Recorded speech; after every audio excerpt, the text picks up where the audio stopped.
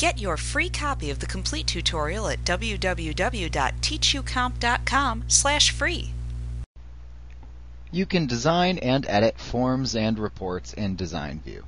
While Access may seem very complex with its multiple object types and the various views of each, it does actually use the same type of design view for both its forms and its reports. This helps to simplify the design process for these types of objects. The only real difference between the form design view and the report design view is that forms are meant to be used for read-write user access to data tables. Reports are used for read-only access to queries and table data.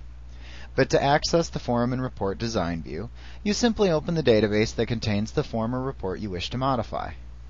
Select either forms or reports as needed in the Objects pane, and then select the appropriate form or report to modify from the list that appears. You could also just create a new form by clicking New and then clicking Design View and clicking OK. Or if you have a pre-created object after selecting it in the database container, you could simply click Design.